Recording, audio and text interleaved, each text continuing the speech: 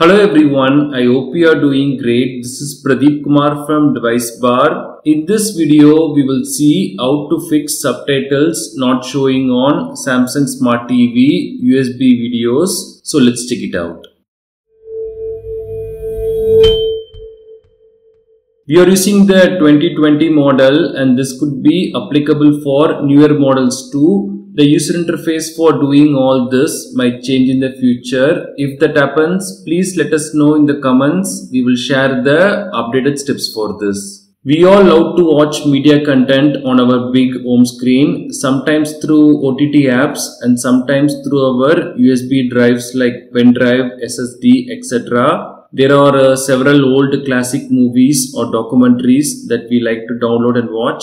Personally, I always enable the English subtitles while watching movies. It will help me a lot to remember the character names. If for some reason the subtitles are not visible on your USB drive movies, then there are some solutions for that. We will see them one by one now. So this is the first thing we have to do. Now on my laptop, I have this Apollo 11 Moonwalk montage. I downloaded this from the NASA website along with the English subtitles.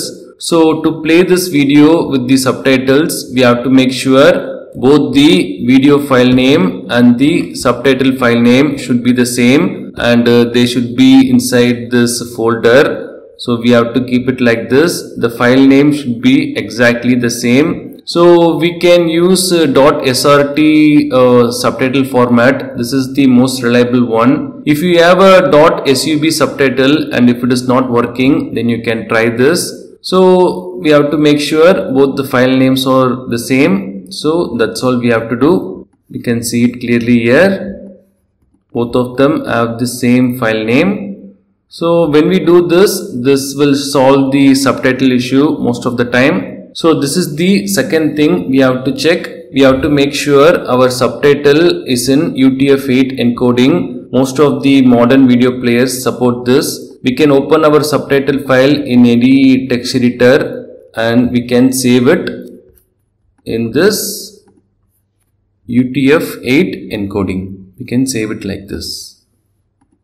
That's all. So this is the third thing we have to check our USB file formats. So if our Samsung Smart TV is not able to detect our USB drive, then we have to recheck this. There are two popular file formats. We can uh, check that on our drive. So the first one is FAT32. If our video files are under 4 GB each, then we can try this. This works on almost all the Samsung Smart TVs. The second one is exFAT or NTFS for large video files. This works on all the new Samsung Smart TV models. So we can check accordingly and we can format our drive and insert that on our Samsung Smart TV. That's all. Now after checking all this, we can copy the movie folder into our USB drive like pen drive or SSD. Then connect that to our Samsung Smart TV. Then we can go to source and we can open our uh, drive here. We can open this and we can go to that folder and we can see the video file. We can play it and we can see the subtitles now without any issue.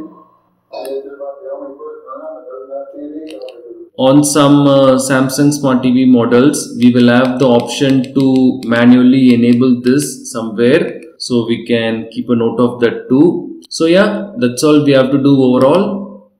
On our Samsung Smart TV model, we have to go to this options and we will have the subtitles uh, uh, menu select that and here we can change the language. If we have additional uh, language track then we can change the size. We can do all these.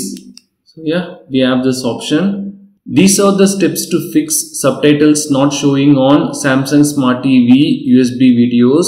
Thanks for watching this video. Do kindly share your questions and thoughts in the comment section. Please do subscribe if you find this video helpful. Have a wonderful day and night